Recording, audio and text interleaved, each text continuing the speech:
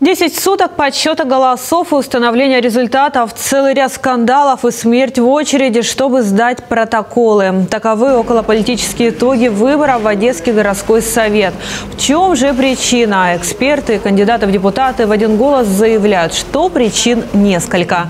Дело и в самой избирательной системе, в поведении членов отдельных комиссий, и в целом в организации процесса на местах.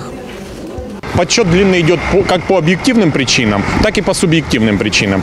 Те изменения в законодательстве, которые были связаны с местными выборами, сделали этот подсчет объективно достаточно долгим. В этот раз комиссии считали по несколько суток. И, по сути дела, это люди, которые там находятся, они совершают, ну, можно сказать, подвиг. То есть они находятся там а, сутками с перерывами небольшими на короткий сон, часто спят прямо на территории избирательных участков.